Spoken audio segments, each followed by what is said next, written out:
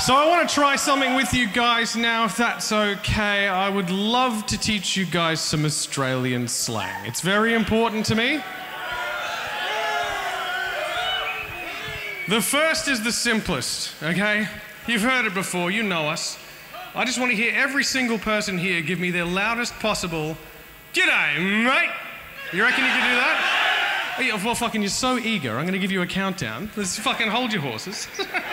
All right, loud as you can. Ready? One, two, three. Well, that's fucking terrific. And a great start to your nomenclature lessons. Now, the second one is a little bit more complicated because it is highly contextual in its meaning. So we're going to drop in a yeah, nah, which is a bit complicated because in that tone of voice it means no, but if I went yeah, nah, it would mean absolutely yes, yes, please.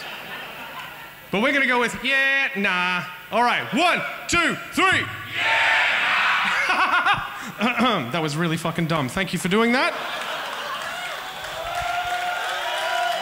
You guys are great sports.